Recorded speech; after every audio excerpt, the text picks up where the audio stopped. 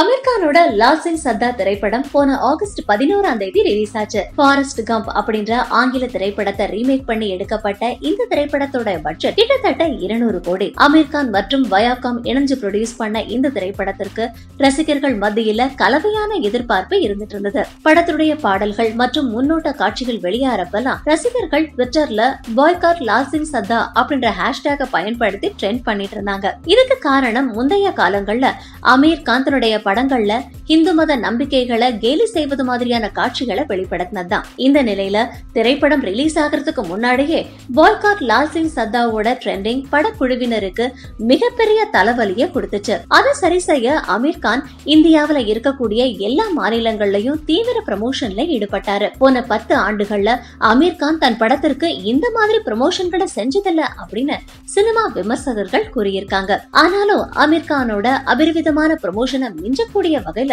நெட்டிசன்கள் பாய்காட் லால் சிங் சத்தா அப்படின்ற ஹேஷ்டேக தொடர்ந்து ட்ரெண்டிங்ல முதலிடத்துல வச்சிருந்தாங்க. இப்படி பல எதிர்வினைகளுக்கு மத்தியில ஆகஸ்ட் பதினோராம் தேதி லால் சிங் சத்தா ரிலீஸ் ஆச்சு. எதிர்வினைகள் நிறைய இருந்தாலும் படம் நல்லா எடுக்கப்பட்டிருந்தா நிச்சயம் மக்கள் ஆதரிப்பாங்க அப்படின்னு நம்ம எல்லாருக்குமே தெரிஞ்சதுதான். ஆனா லால் சிங் அதுவும் நடக்கல. உலக அளவுல மிகப்பெரிய வெற்றியை பார்த்த ஃபாரஸ்ட் கம் திரைப்படத்தை ரொம்பவே மோசமான வகையில ரீமேக் செஞ்சதால லால் சிங் இந்திய ரசிகர்களால ரசிக்க முடியல. மேலும் படத்துடைய நீளம் மற்றும் ஸ்கிரீன் பிளேவ்ல இருக்கக்கூடிய தொய்வு இந்த மாதிரியான காரணங்கள் படத்துக்கு இடியா அமைஞ்சிடுச்சு. அதோட விளைவு அமீர் கான் நடிச்சு ரிலீஸ் ஆன படங்கள்லயே ரொம்பவும் மோசமான மற்றும் கமர்ஷியலா அதிக நஷ்டத்தை ஏற்படுத்தின திரைப்படம் லாசின் சதா அப்படின்ற பேரை இந்த திரைப்படம் வாங்கிடுச்சு. வசூல் சக்கரவர்த்தி அப்படின்னு சொல்லக்கூடிய அமீர் கான் இந்த திரைப்படத்தின் மூலியமா மிகப்பெரிய நஷ்டத்தை சந்திச்சிருக்கிறது பாலிவுட அதிர வச்சிருக்கு